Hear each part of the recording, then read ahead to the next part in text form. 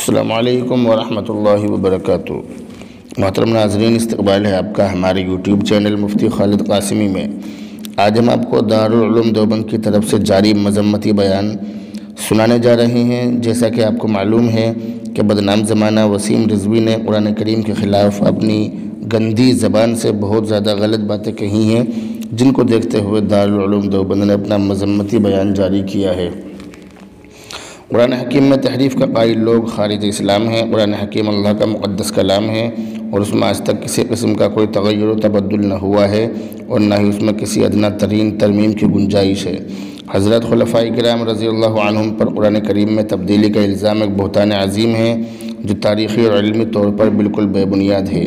قرآن کریم پوری دنیا کے لیے امن و انسانیت اور خیر و ہدایت کا پیامبر ہے۔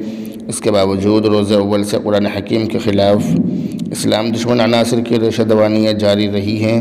ہمارے ملک میں بھی کئی بار قرآن مجید کے خلاف اشتعال انگیز بیانات سامنے آئے ہیں۔ معلوم ہوا ہے کہ حال ہی میں ایک معروف اسلام دشمن شخص نے عدالت عظمہ میں قرآن پاک کی چند آیات کے خلاف عارضی دائر کی ہے اور اللہ رب العزت کے اس کلام کے خلاف فتنہ انگیز بیانات بھی دیے ہیں۔ دارالعلوم دیوبند اس کی پرزور مذمت کرتا ہے اور حکومت ہند سے اپیل کرتا ہے کہ اس قسم کی شرنگیزی کے سدباب کے لیے فوری اور مؤثر اقدامات کیے جائیں، ایسے نفرت پھیلانے والے عناصر کے خلاف سخت قانونی کارروائی کی جائے، جہاں تک عدالت عظمہ کا معاملہ ہے۔ ہم سمجھتے ہیں کہ وہ مذہب و عقائد کی اہمیت اور آئینی بنیادی حقوق کو ملحوظ رکھتے ہوئے جلد ہی اس رٹ کو خارج کر دے گا۔ ایسے ناپاک عناصر سستی شہرت حاصل کرنے کے لیے کسی حد تک بھی گر سکتے ہیں۔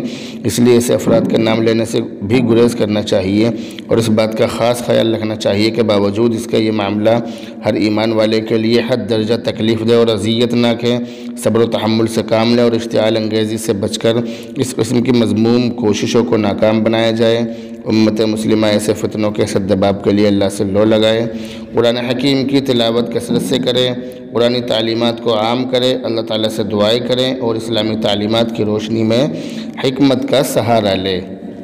تو ناظرین، یہ تھا دارالعلوم دیوبند کی طرف سے مذمتی بیان اور ساتھ ہی اس میں مسلمانوں سے اپیل کی گئی ہے۔ کہ وہ اس کو زیادہ ہائی لائٹ نہ کریں۔ تو اس بارے میں ناظرین، آپ اپنی رائے کمنٹ باکس میں ضرور دیں۔ دعاؤں میں یاد رکھیں۔ السلام علیکم ورحمۃ اللہ وبرکاتہ۔